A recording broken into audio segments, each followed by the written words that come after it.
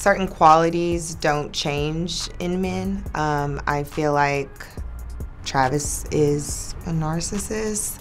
So most narcissists don't change. Well, I was disappointed that she doesn't talk before or after her shows because she has to save her voice for the 44 songs that she sings. So I was a little butthurt I didn't get to hand her one of the bracelets I made for her. You made her. But I wanted to give Taylor Swift one with my number on it. Not right now. Your number's in 87 or your phone number? You know which one. So it looks like Taylor Swift's new relationship already comes with a boatload of drama because her boyfriend's ex, Kayla Nicole, is dragging her for stealing Travis Kelce away from her. Kayla and Travis were together for more than six years, and she is holding Taylor 100% responsible for her failed relationship. Well, Kayla is out for revenge because she brought receipts to show that Taylor is not as innocent as she seems. You thought you were going to marry him. I did. Were you in love with him? I was. he met my parents. I had a key to his penthouse. To me, that means that you're pretty serious. So Taylor Swift has been blowing up the news with her brand new relationship with NFL player Travis Kelce. They've only been an item for about five minutes, but there's already a boatload of drama surrounding them. And it has to do with Travis's ex-girlfriend Kayla Nicole. Well, Kayla feels a type of way about the relationship and it's kinda hard not to blame her. It's only been a short while since she and Travis broke up and now he's all in with Taylor. And of course that's got to sting. But to make matters worse for Kayla, Taylor Swift has this massive and passionate fan base that's already given their seal of approval to the new couple. And it just looks like everybody's so obsessed with the new relationship. But here's the thing, it's not Taylor's fault that Travis did Kayla dirty. She's just enjoying her newfound romance with a guy who seems genuinely into her. And it's not like she set out to steal anyone's man. So Travis and Kayla's past is their business, and it looks like he's treating Taylor right, which is a good thing for them. But as I said, it's easy to understand why Kayla might be feeling a bit abandoned. After all, she and Travis had a good thing for a while before they called it quits. Admittedly, their relationship has its share of on again and off again moments, but it seemed like they were on a path to make things work. Travis and Kayla first started dating sometime between November or December 2016, probably around the same time Will and Jada became separated. But anyways, it all started when she noticed him showing some subtle interest in her on Instagram. Travis would like Kayla's photos and watch her Instagram stories, but he never took that step to sliding into her DMs. After a few weeks, Kayla decided to take matters into her own hands and slid into his DMs, asking him what's up. She's openly admitted to this, and when a fan asked her how she and Travis first met, she wrote, slid into that thing like third base. I don't know baseball, so I'm not sure that's the best analogy. Anywho, the lesson here is making the first move might be your best move.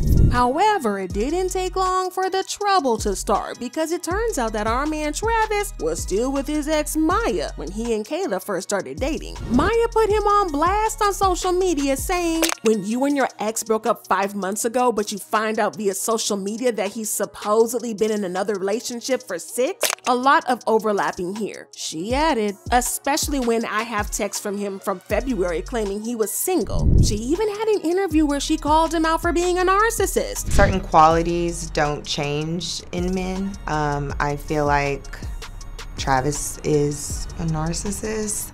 So most narcissists don't change. From all this, it's kinda clear that Travis isn't exactly known for clean breakups in his dating history. Kayla might have hinted about this side of him, but she still held out hope. They were head over heels for each other right from the get-go, and things got serious fast. Unfortunately, Kayla had to deal with a lot of unnecessary hate due to her interracial relationship with Travis, which as we all know, can stir up some unneeded drama. She spoke about the hate in a podcast saying, I could never comprehend it. It broke my heart so much, especially because I was always the girl who would stand up for black men. But all that hate they received couldn't tear them apart, and their bond just continued to grow stronger. However, in 2019, just three years into their relationship, they unexpectedly called it quits. This left fans kinda shocked given how solid they appeared, and many had expected them to go the distance. However, it wasn't long before they reunited in 2020, and it looked like they were in love more than ever. Unfortunately, the second round also didn't last long and they broke up in July, shortly after a romantic vacation. This time there were rumors of Travis being unfaithful, but he firmly denied them, saying, This is fake news, a lie, and not why Kayla and I broke up. Take all your hatred somewhere else, please. Insiders started to spill the tea that the real reason for the breakup was that Kayla was ready for marriage, but Travis wasn't,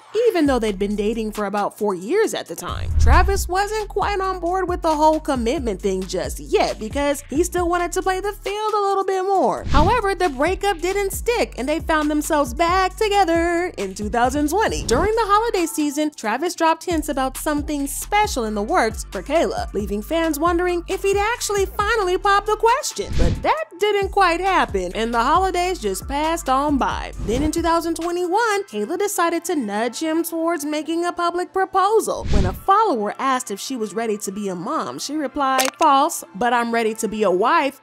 yeah, you can't get any more direct than that. But Travis didn't catch the drift, or he just chose to ignore it. Then Kayla started dropping some hints that Travis wasn't exactly generous with her, saying that she could only afford to shop at Zara. She even wondered how the social media fashion girlies managed to afford their designer stuff, and fans couldn't help but raise an eyebrow considering Travis's millionaire status. Yet his girlfriend could only afford Zara. Now don't hate on Zara, okay? That's some good fashionable finds. But anyways, Travis claimed that Kayla had her own money and was independent. And Kayla also stood up for him saying, me, my man, and my $50 Zara outfit on a yacht in Tahoe, sweetie. Y'all concern is beneath me. Sources also confirmed that Travis didn't spend a lot of money on her because he was determined to make her prove that she wasn't with him for the money. Apparently, he had his suspicions because she made moves on him at first, and he just still didn't trust her fully. And he kind of confirmed this, saying that he never gave her more than a few hundred dollars. He said, I would never say that I was supporting her. She had a very financially stable life and what she was doing in her career. But you've got to be crazy if you think I would never help or give her a couple thousand to grab some food, or she gave me some money to get some food. We were in a relationship for five years. $100 here, $100 there, wasn't even thought about. Well, they ended up breaking up earlier this year. And although fans thought they'd get back together like before, Travis threw us all off when he revealed that they were done done. He didn't waste any time moving on either, and it wasn't long before he was head over heels in love with Taylor Swift. He first sparked off romance rumors in July when he revealed that he had a crush on Taylor Swift. He revealed that he had attended a show in her Eras tour and attempted to give her a friendship bracelet with his number on it, but he couldn't get to talk to her. Well, I was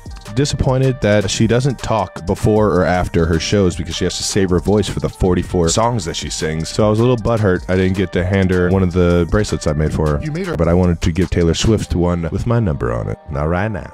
Your number's in 87 or your phone number? You know which one. Well, it was different this time around because while he waited for Kayla to make moves on him, he was more than eager to chase after Taylor, and he went all the way in. It turns out that Taylor found his friendship bracelet thingy cute, and he was eventually able to get in touch with her. They hit it off, and sources revealed that they started hanging out a lot in private, saying, Taylor and Travis have been quietly hanging out. She saw him when she was in New York City a few weeks ago. Well, Travis's friends were more than happy to confirm the relationship, with one of them saying, Having said that, man, I think they're doing great, and I think it's all 100% true, and I hope this thing goes a mile. Travis also revealed that things were progressing nicely between him and Taylor, saying, I told her, you know, I've seen you rock the stage at Arrowhead Stadium. You might have to come see me rock the stage in Arrowhead and see which one's a little more lit. So we'll see what happens in the near future. A couple of weeks after that, she was spotted cheering him on during a game, and she was sitting right beside his mom, which means that she had already met his family.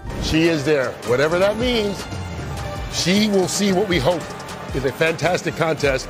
Most of you will get that. Others will catch the Dallas Cowboys. Not only that, but they were also spotted leaving the game together, looking all smiles. But they didn't go home straight away because later that day, they were spotted in his convertible. So yeah, looks like things have gotten more serious between them because not only have they met each other's families, but they're now hanging out with their group friends as well. They've also been spotted going out to dinner at Nobu and even attending the SNL after party a couple of days ago. And his hands were all over her. Well, Travis appeared to finally confirm the dating rumors when he said, as all the attention comes, it feels like, you know, I was at the top of the world after the Super Bowl, and right now I'm even more on top of the world. You've got a lot of people that care about Taylor, and for good reason. You just have to keep living and learning and enjoying the moments. Listen, y'all, it's like the whole world, including the NFL, is hooked on this fresh romance. Everybody except for Kayla Nicole, who's apparently and obviously not on board. Word from the insiders is that she's not exactly thrilled with the situation.